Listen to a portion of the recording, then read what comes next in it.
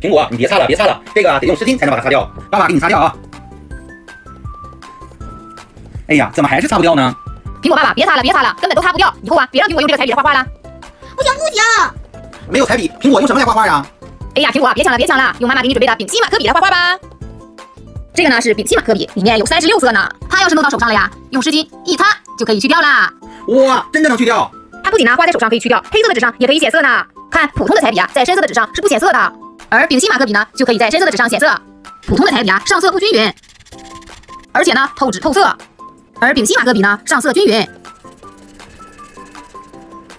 还不透纸不透色呢。普通的彩笔啊叠色不明显，而丙烯马克笔啊就可以轻松的叠色。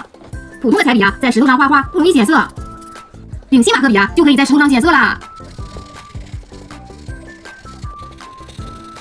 你们喜欢这样的丙烯马克笔吗？